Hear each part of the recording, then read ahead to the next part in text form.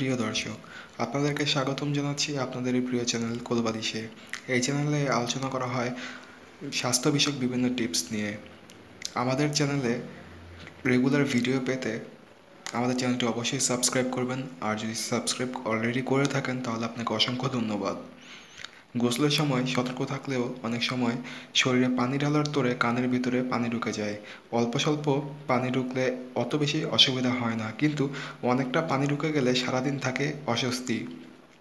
বহু চেষ্টাতেও সে পানি বার করা যায় না। কান বন্ধ হওয়া থেকে কানে যন্ত্রণা বা পানি বেশি ঢুকলে কান থেকে রক্ত বার হওয়া, পুজ বের হওয়া ইত্যাদির সম্ভাবনাও উড়িয়ে দেওয়া যায় না।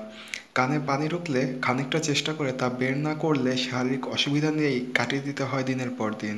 শরীরের নিজস্ব প্রক্রিয়ায় সেই পানি আপনা আপনি বেরিয়ে যাবে ধরে নিয়ে অপেক্ষা করেন অনেকেই।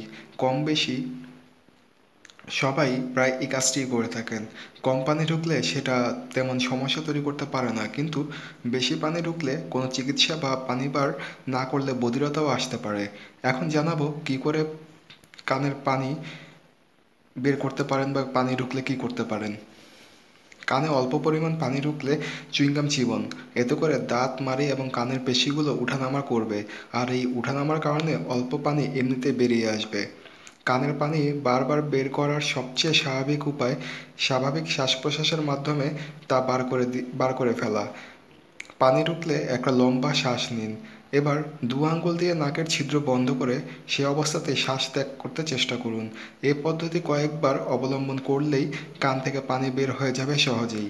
বের বাড়িতে আরও একটি নিরাপদ পদ্ধতিতে কানের পানি বের করতে পারেন। সেটি হলো, যে কানে পানি ঢুকেছে সেদিকে মাথা কাত করুন এবং সেদিকের হাতের তালু কানের ওপর রেখে জোরে জোরে চাপ দিন। চাপ দিয়ে সরিয়ে নিন, হাতে এতে করে কিছুটা পানি বেরিয়ে আসবে।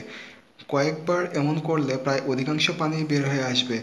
তবে এতেও সমস্যার সমাধান না হলে অবশ্যই চিকিৎসকের কাছে যাবেন। ধন্যবাদ।